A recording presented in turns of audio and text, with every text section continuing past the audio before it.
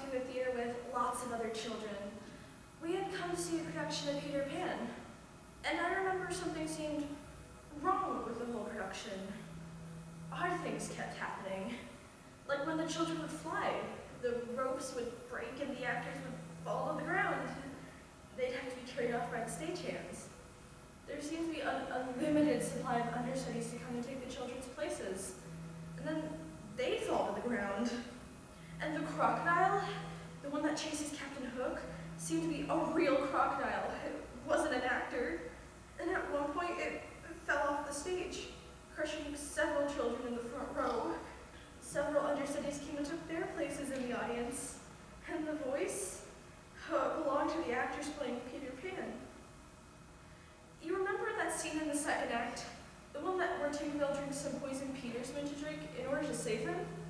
And then the actress playing Peter Pan turns to the audience and says that Tinkerbell's going to die because not enough people believe in fairies. But if everyone in the audience claps real hard to show they do believe in fairies, then maybe Tinkerbell won't die. And so all the children began to clap. We clapped very hard, very long. My palms hurt, and even started to bleed I clapped so hard. And then the actress playing Peter Pan turned to the audience and says, that wasn't enough. You didn't clap hard enough. Tinkerbell's dead. And, uh, well, we, we all started to cry. The actress stopped off stage and refused to continue with the play. And they finally had to bring down the curtain.